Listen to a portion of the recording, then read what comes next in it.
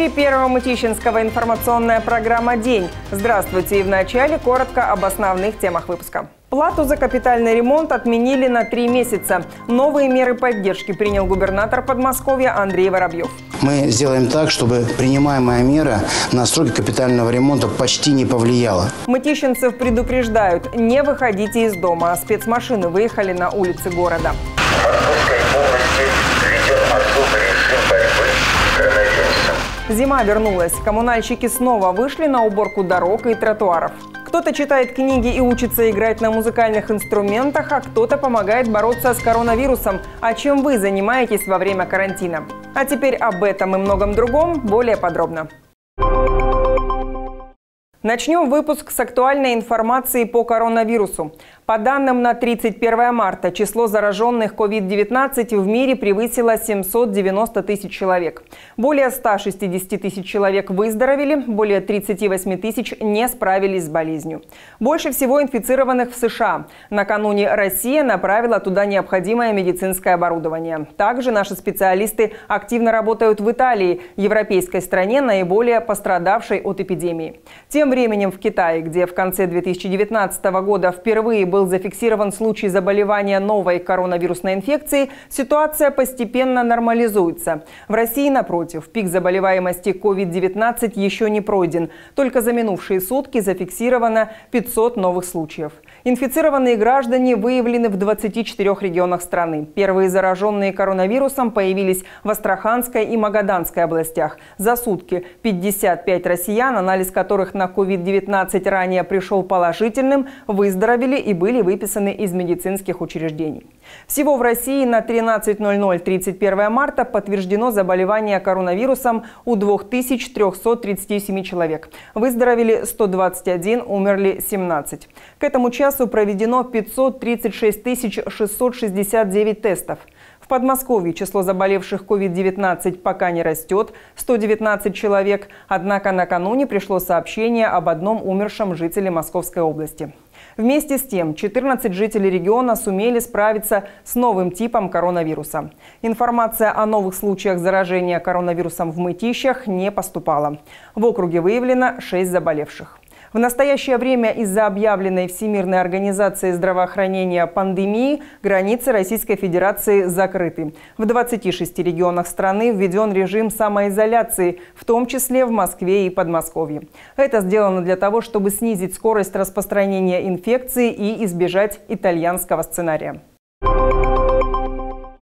Госдума сегодня приняла ряд нормативных актов за нарушение карантина. Согласно законопроекту, нарушение инфицированным эпидемиологических правил, повлекшее по неосторожности массовое заболевание людей, будет караться штрафом до 1 миллиона рублей, либо лишением права занимать определенные должности или заниматься определенной деятельностью на срок до трех лет, либо лишением свободы на тот же срок до трех лет. Если такое нарушение привело по неосторожности к смерти человека или было сопряжено сопряжено с умышленным созданием угрозы массового заболевания людей, размер штрафа составит уже до 2 миллионов рублей, а срок лишения свободы до 5 лет.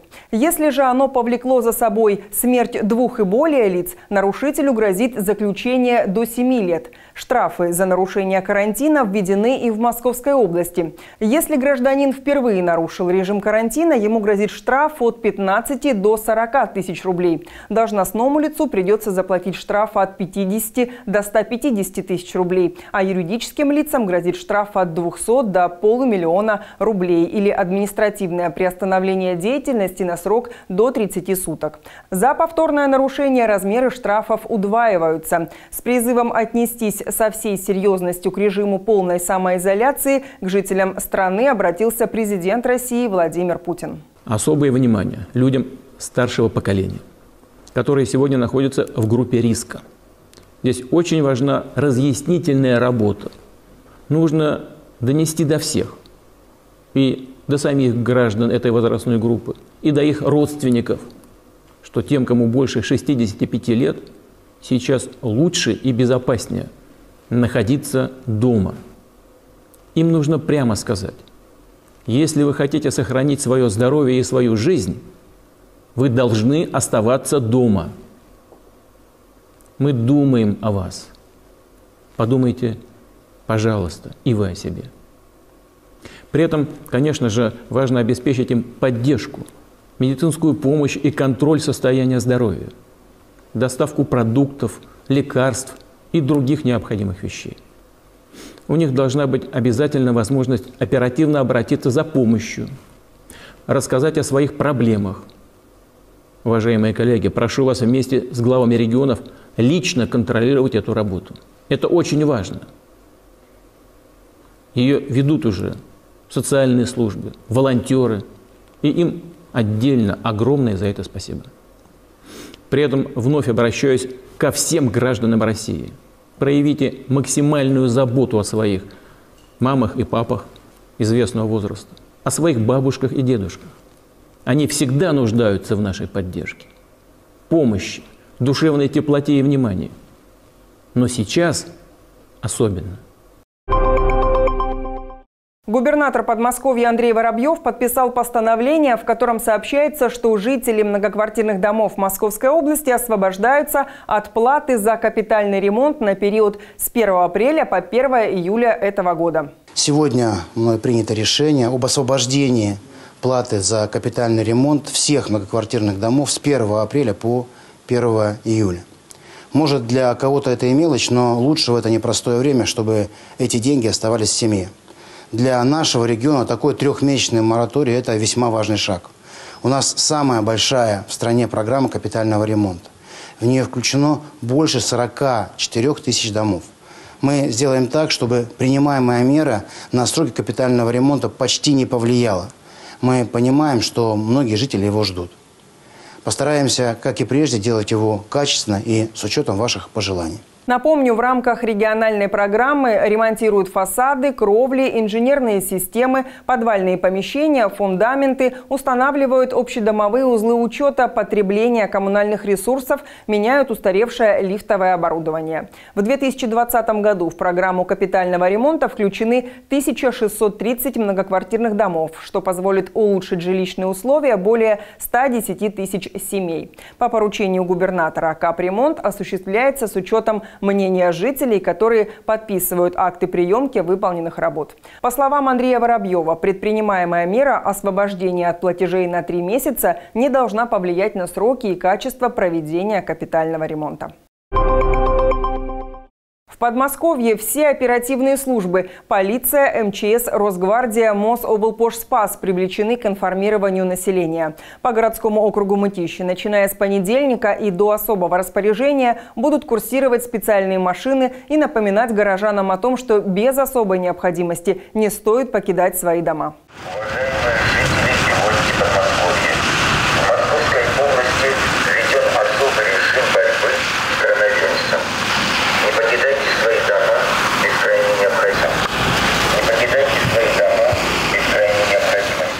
Такие меры профилактики введены губернатором Подмосковья с целью донести до максимального количества жителей региона важность предпринимаемых мер по самоизоляции. Напомню, режим полной самоизоляции в Московской области начал действовать в минувшее воскресенье с 20.00. Мособлгаз информирует об изменении режима работы клиентских офисов. С 30 марта они работают только для предоставления услуг по обслуживанию смарт-счетчиков. Офисы филиала «Юго-Восток» до 4 апреля будут закрыты. Руководство ресурсоснабжающего предприятия напоминает, что услуги можно получить дистанционно через личный кабинет клиента компании «Мособлгаз», в том числе оплатить счета за предоставленные услуги без комиссии. Абонентам старше 60 лет специалисты компании готовы оказать услугу на дому, в том числе пополнить смарт-карты. Для этого сформированы специальные бригады сотрудников. Заказать услугу можно по горячей линии. Звонки принимаются с понедельника по пятницу с 9 до 18 часов. В компании обращают внимание, что все меры приняты в рамках обеспечения безопасности жителей региона в связи со сложившейся эпидемиологической ситуацией. Подмосковье организованы сбор и доставка продовольственных товаров многодетным семьям и одиноко проживающим пенсионерам. Такое поручение дал губернатор Московской области Андрей Воробьев. Чтобы получить такую меру поддержки, необходимо по телефону обратиться в Мытищинский центр социальной защиты населения. Кирилл Тридуб расскажет подробнее. Оператором по формированию продовольственных наборов выступило руководство Мытищинской ярмарки. Здесь в кратчайшие сроки нашли складские помещения для хранения и распределения продукции. Нами проделана огромная работа. В срок э, менее недели сформировано, закуплено, перемещено на наши склады и уже сформировано почти 20 тысяч э, продовольственных наборов. Поставка провизии осуществляется во все города Московской области. Колонны из автобусов и фур стоит в очереди на погрузку для того, чтобы потом отправиться в свой муниципалитет. Далее волонтерские организации доставят продукты на дом. На данный момент часть объема сформированной продукции уже отгружена. Наших мощностей предостаточно. Естественно, мы перешли на определенный режим. Сейчас сотрудники э, работают в большом напряжении, поэтому со своей стороны мы обращаемся тоже к просьбе жителям Подмосковья, чтобы они подошли с ответственностью и пониманием ко всем требованиям указа президента и постановления губернатора Московской области. В набор включены самые необходимые продукты. Это мясные рыбные консервы, мука, гречка, подсолнечное масло. Всего 11 позиций. Часть из них на территории городского округа Мытищи уже доставили адресатам. На сегодняшний день уже 190 раздали пенсионеров, 143 вчера получили для многодетных семей и в ближайшее время, и 300 еще для пенсионеров в ближайшее время мы будем получать и получать. Получить продуктовые наборы могут многодетные семьи и одинокие пенсионеры. Для этого необходимо связаться со специалистами Мытищинского центра социальной защиты населения. Кирилл Тридуб, Денис Петров, Первый Мытищинский.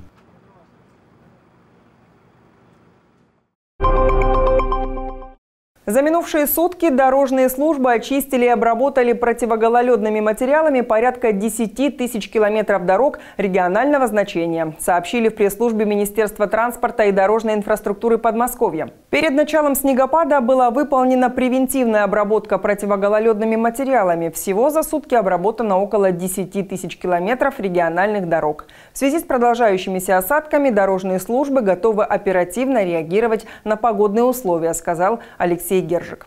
В работах задействовали около 300 комбинированных дорожных машин. В приоритетном порядке убирали эстакады, мосты, крутые повороты, спуски и подъемы, а также места социального притяжения. На расчистку Мытищинских улиц ранним утром 31 марта вышли 479 дворников. В работах было задействовано 43 единицы уборочной техники. Погода завтра, 1 апреля, также скорее будет похожа на зимнюю. Такую шутку природы пользователи социальных сетей называют еще одним хорошим поводом для того, чтобы остаться дома. Режим самоизоляции не повод для расстройства. Телеканал «Первый Мытищинский» готов доказать, что карантин не приговор. Напротив, это новые возможности и предлагает жителям муниципалитета стать участниками интерактивного проекта «Друг для друга». Сегодня свое видео прислала мама двоих детей Карина. Вместе с сыновьями они находятся дома и стараются как можно разнообразнее организовать свой досуг. В приоритете у ребят чтение книг и настольные игры, а также уроки рисования. Но в то же время мальчишки не забывают о программе музыкальной школы и с удовольствием репетируют на различных инструментах.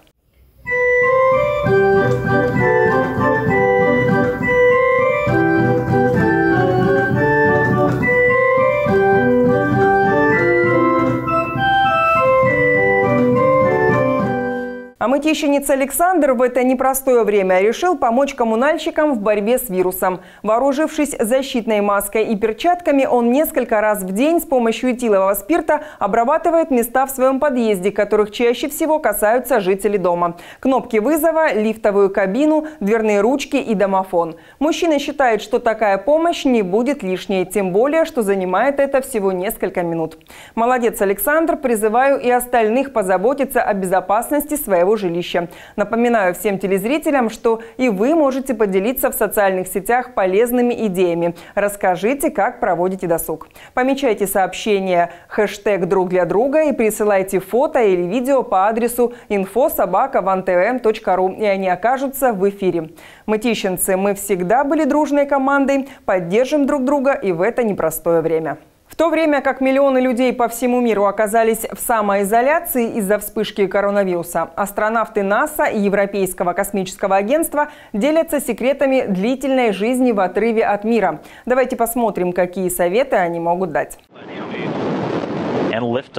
Экспедиции на Международной космической станции длятся месяцами. И у астронавтов есть большой опыт жизни в изоляции в 400 километрах от Земли. Теперь в условиях пандемии коронавируса они решили поделиться секретами, как выжить в замкнутых условиях. Британский астронавт Тимоти Пик провел на орбите 186 дней. Говорит, что очень важно жить по графику. Привычка и рутина – это ключевые вещи, которые помогают держать все под контролем в замкнутой и изолированной среде. Такой режим на Международной космической станции очень важен. А здесь, на Земле, в такой сложной ситуации, нам тоже нужно перенять этот опыт. Тимоти Пик говорит, что людям длительное время придется вести нормальную жизнь не в совсем нормальных условиях.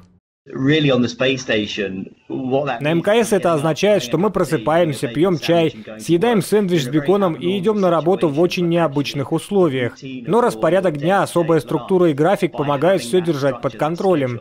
То есть можно достичь поставленных целей. Астронавт НАСА Томас Джонс совершил четыре космических полета на шаттлах. В шаттле у нас была комната с грибным тренажером. У нас был велотренажер, поэтому, когда появлялся случай, я занимался. Это был прекрасный шанс очистить сознание. Занятия позволяли отдохнуть. Я чувствовал себя намного лучше. Я также мог на час отвлечься от напряженного графика, позаниматься и подумать о приоритетах.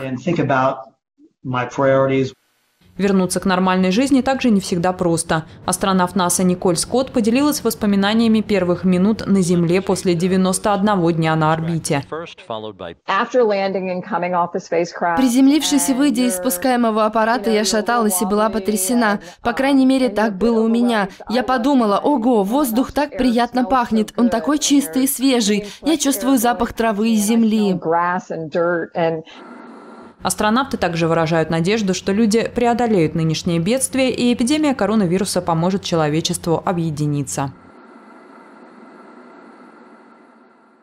Перейдем к теме 75-летия Великой Победы. Внук маршала Советского Союза Василия Чуйкова Николай Чуйков и внучка маршала Советского Союза Василия Соколовского Наталья Синюкова-Соколовская, жители поселка Трудовая Северная, стали участниками акции «Про героя». Она проводится Министерством культуры Московской области в честь 75-летия Великой Победы. Ее участником может стать любой желающий, подготовив минутный рассказ о своем родственнике, сражавшимся с фашистами в тылу и на фронтах Великой Отечественной войны. Сегодня в условиях режима самоизоляции запись видеопортретов временно приостановлена. И все же менее чем за два месяца сотрудникам учреждений культуры удалось собрать порядка трех тысяч историй. Наши земляки, потомки прославленных воинов, успели стать участниками акции «Про героя».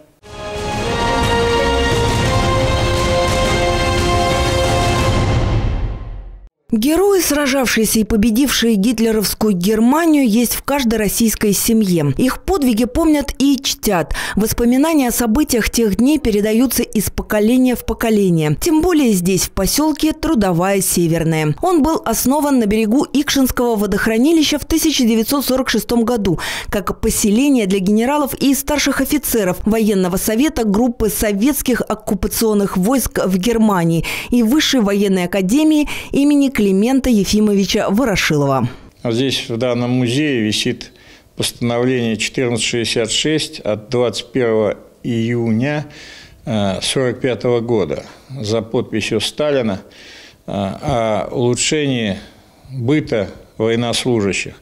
Вот с этого постановления и началось все. Потом были соответствующие распоряжения Мособлсовета, и фактически возник поселок. Это место для поселка выбирал мой дедушка Василий Данилович Соколовский.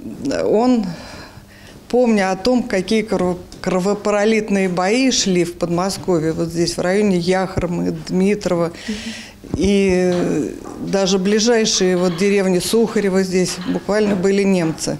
И ему это все было известно. И поэтому, наверное, я думаю, эти места ему были дороги еще с тех времен.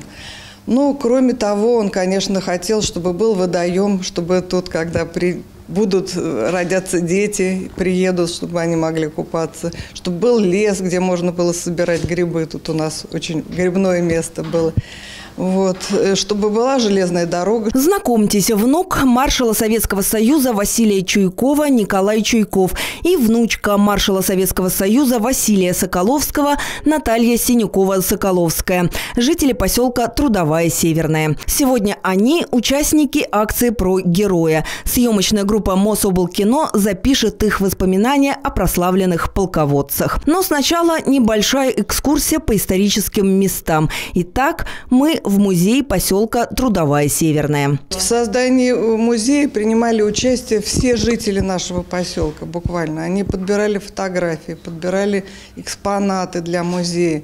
Кроме того, все сдавали вот денежные взносы немалые, чтобы построить это здание, чтобы отсканировать фотографии, сделать стенды. Все это было за счет э, жителей поселка. И все с энтузиазмом и с большим желанием это делали в память о своих родных и близких. Отец Натальи Синюковой-Соколовской, Евгений Соколовский, к слову, также участник Великой Отечественной войны. Его артиллерийский дивизион первым дал залп по Берлину. На этих стенах есть и его портрет. В 1946 году в поселке Трудовая Северная числилось 120 дворов. Его жителями были в том числе пять маршалов Советского Союза. Это первый белорусский фронт который был преобразован потом а, в группу оккупационных войск Германии.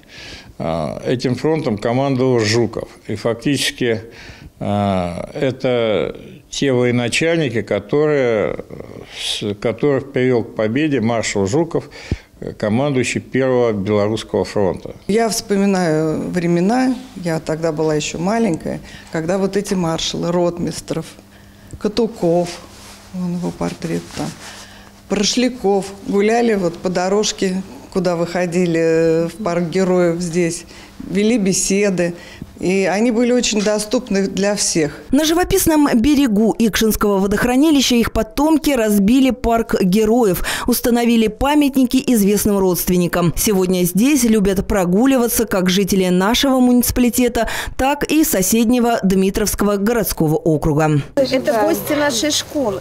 А, конечно. Частые гости. У нас сотрудничество такое плотное. Кстати, школьники вот из Черновской школы здесь приходят и проводят субботники. А вот. Они же здесь и купаются. Сегодня Черновская школа Дмитровского городского округа ждет подтверждения права носить имя маршала Советского Союза Василия Чуйкова. С 2015 года мы все вот так вот ждем, когда нам присвоят имя Василия Ивановича Чуйкова в нашей школе. Потому что, конечно, хотелось бы, потому что человек легендарный. Вот.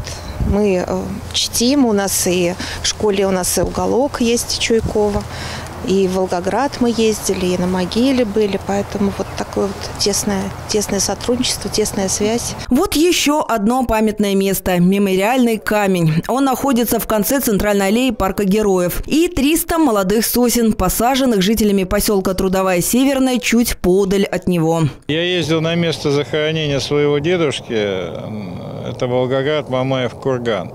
И там, в принципе, мне вручили факел – который был зажжен э, с вечного огня э, на Мамаевом кургане и э, вручили землю, которую я привез сюда, капсулу с землей, и мы здесь вот захоронили эту землю, плюс написали назидание потомкам, которое вскроется через 50 лет. Вот соорудили данный камень и поставили табличку. Торжественно открыли – на открытии был генерал-полковник Антошкин, депутат Государственной Думы от «Единой России». И э, были кадеты, были э, патриотические клубы. И вот здесь была акция, которую проводил губернатор наш Воробьев, и все наши семьи полководцев участвовали в этой акции. «Посади лес» называлась акция. И мы посадили вот сосны, и березы, да? да, вот эти вот сосны, березы. Сами сажали. Сами сажали. И дети мои, и внуки все вместе, и я тоже в том числе. Видя портреты советских военачальников, решено писать в доме Николая Чуйкова. Напомню, акцию «Про героя» проводит Министерство культуры Московской области в честь 75-летия Великой Победы. В течение полутора месяцев сотрудники учреждений культуры помогали жителям Подмосковья увековечить воспоминания об их родственниках, сражавшихся с фашизмом. За это время было записано порядка трех тысяч видеопортретов. Мы здесь сегодня э, снимаем участников э, региональной акции про героя, первый этап, который э, завершился раньше времени в связи с ситуацией в стране из-за коронавируса и мер предпринимаемых, чтобы остановить э,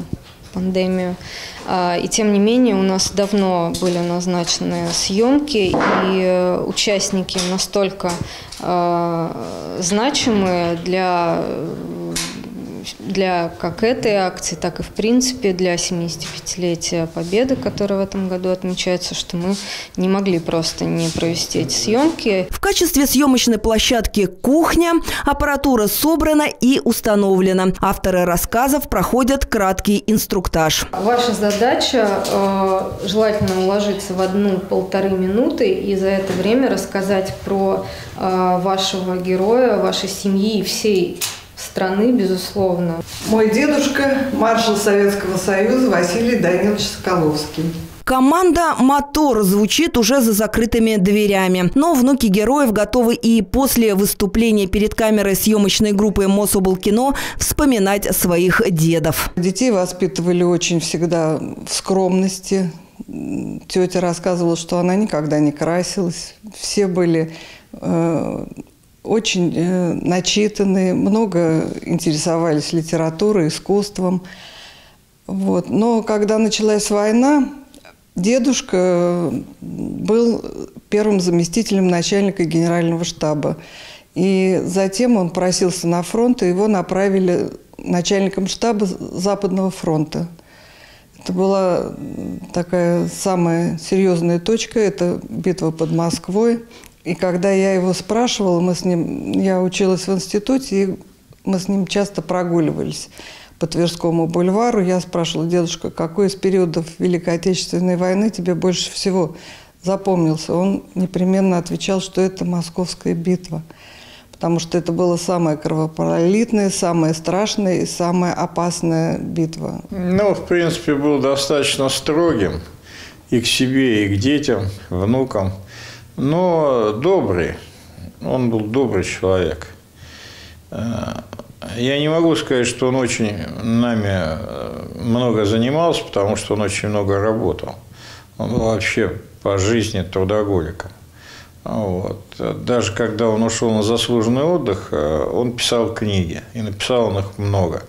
На самом деле пять книг, потом переиздавали книги. То есть он, в общем-то, все время работал, писал воспоминания, старался передать молодому поколению свои знания, опыт. Сегодня внуки советских военачальников борются за то, чтобы поселок Трудовая Северная стал поселком воинской славы, поделился Николай Чуйков. До сих пор в истории нашей страны таких случаев не было. Есть э, закон выдвинутый президентом. Это закон касается городов воинской славы, а у нас всего-навсего дачный поселок. То есть, э, я не знаю, может быть, мы проявили самостоятельность, но мы это проявили, сделали знамя поселка и так далее принципе. И, понимаете, мы все-таки традиции наших отцов и дедов и историческую память храним. Посмотрите, вот знамя поселка воинской славы «Трудовая Северная». Под ним потомки советских военачальников и офицеров, приведших нашу страну к Великой Победе, собираются, чтобы почтить память родственников героев или решают насущные задачи. Надежда Звягинцева, Денис Корнев, Первый Мытищинский.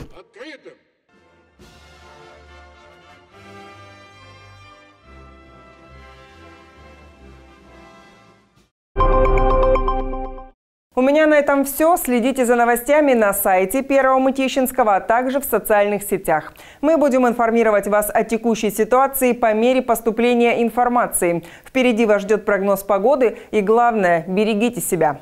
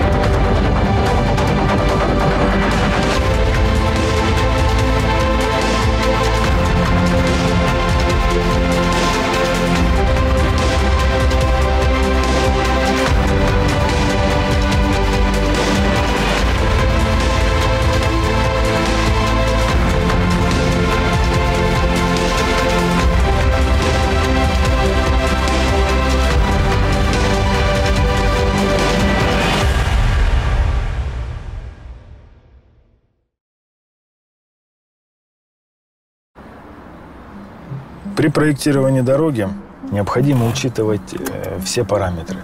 Разделить встречные потоки, учесть скорость движения. Но прежде всего безопасность, конечно. Думаете, превысить на 10-15 км в час не страшно? Это те самые 10-15 километров, которые могут спасти жизнь вашего ребенка или забрать.